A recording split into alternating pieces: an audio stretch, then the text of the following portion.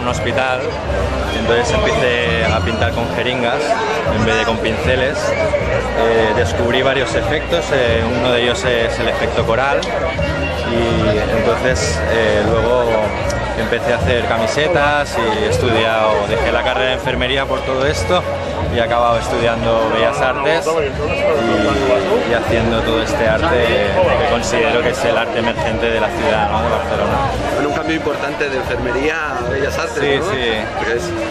¿Hay algún, algún material que utilizas en particular para...? Bueno, es una técnica mixta, evidentemente, es eh, principalmente acrílico y bueno, es, eh, ahora es una tendencia a nivel internacional la pintura fluida y esto, digamos que, bueno, hay miles de efectos que descubrir, supongo que cada uno tiene los suyos, pero bueno, mi punto de partida, como utilizo las jeringas y no los pinceles, pues siempre me ha dado un sitio privilegiado en, la, en el mundo de la originalidad. ¿no? Nos has comentado que también lo utilizáis para aplicarlo en decoración. Sí, ahora lo que hago es, eh, bueno, eh, dar un paso más allá y me he metido en el mundo del diseño, estoy empezando a hacer etiquetas de vino, colaboro con un estudio de arquitectura, hacemos interiorismo y bueno, hacemos aplicaciones de, de nuestro arte en, en- bueno, en camisetas, en todos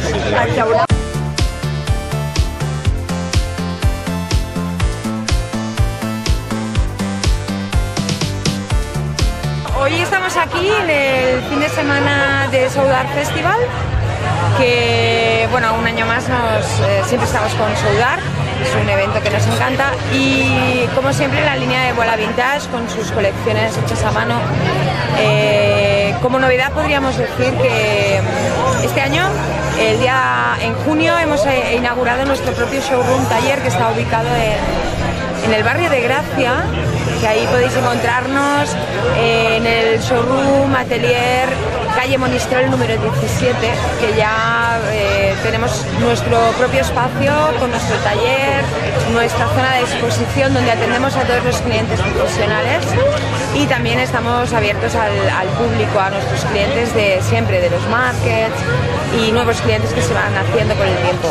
Eh, nuestro horario es de 10 a di- a 18 horas, más que nada para que lo sepáis todos.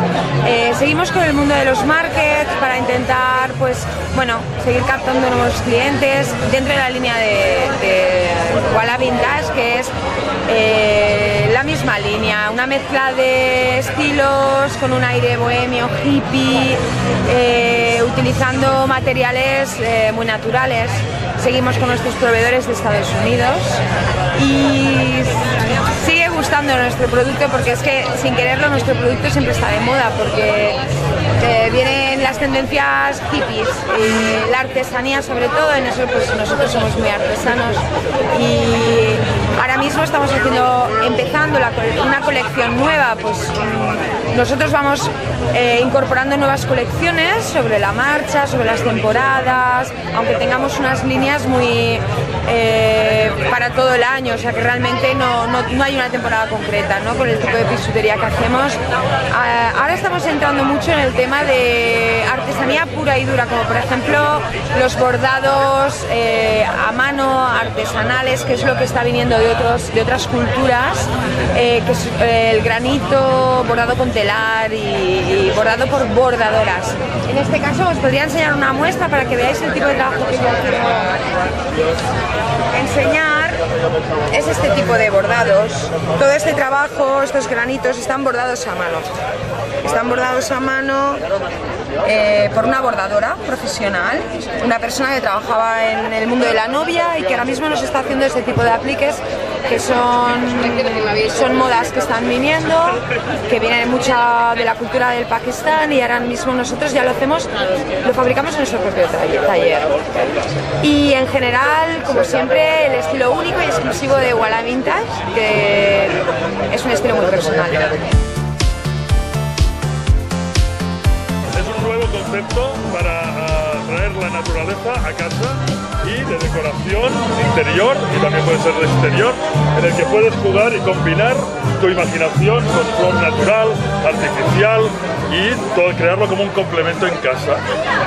Te presento a Javier Vilalta, que ha sido un diseñador.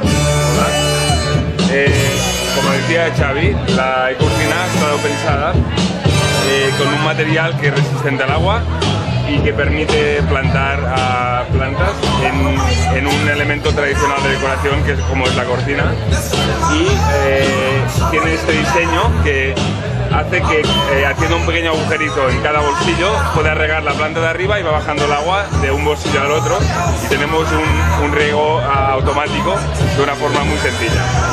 ¿Cómo se llega a una idea tan especial? Pues, a ver, nuestro, nuestro trabajo eh, nos gusta esta idea de eh, combinar la naturaleza con una pieza eh, tradicional de diseño y llegamos a, a este resultado. Con esa idea buscamos integrar eh, de alguna forma la naturaleza dentro de la casa. Entra mucho en este concepto de la naturaleza sostenible, ¿no? De la sostenible. Sí, pero normalmente esta idea va como tenemos las macetas y tenemos los muebles, ¿no? Lo que hemos conseguido con este producto es unificarlo todo en uno solo.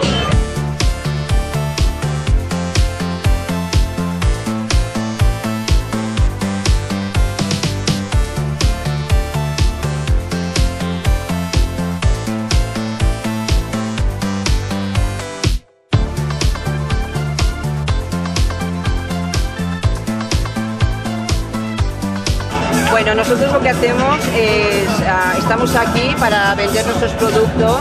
Todo este dinero va para la asociación nuestra que se llama Pacatas Italia. Eh, aparte recogemos fondos también para la asociación, para la casa de acogida que queremos hacer en Senegal. Es una casa en la cual nosotros vamos a intentar recoger a los niños de la calle y darles, bueno, pues un futuro. Eso de alguna manera les vais a dar, vais a darles también formación o Formación, cobijo, alimentación y, y sanidad, evidentemente. Aquí ya tenemos una muestra de lo que estáis haciendo. Sí. Para poderlos Exacto. realizar aquí. Sí. ¿Qué tipo de productos? Bueno, nosotros tocamos mucho lo que es artesanía, todo lo que son tallas y tal, todo esto se hace en Senegal, es gente muy joven que, que trabaja. Aparte de los pareos, están tintados a mano, a los gorros, mm, diademas, todo esto está hecho a mano también. Lo que es la bisutería está todo forrado a mano con telas africanas también y prácticamente todo el género que, te- que traemos es de Senegal. O sea que de alguna manera también damos un poquito de trabajo a la gente de allí.